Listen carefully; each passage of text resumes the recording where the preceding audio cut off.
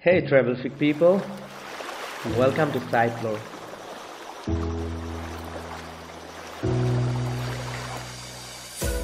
Very soon, I will come up with the comparison video between Royal Tulip and Ocean Paradise.